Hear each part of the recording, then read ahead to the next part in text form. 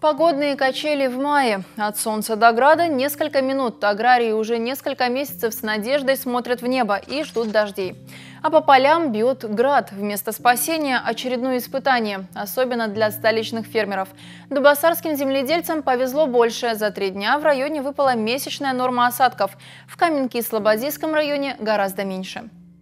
Изменение связано в первую очередь с тем, что активизировался циклон над э, Балтикой и Скандинавией, то есть над севером Европы. То есть это полоса пониженного атмосферного давления.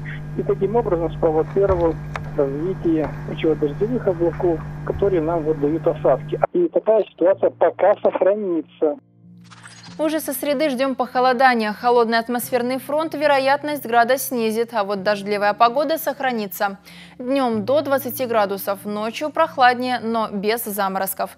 Подарком ко Дню Победы станет солнечная и по-настоящему летняя погода. Ее принесет средиземноморский антициклон. С 9 по 11 мая днем до 30 градусов тепла. Лето все ближе.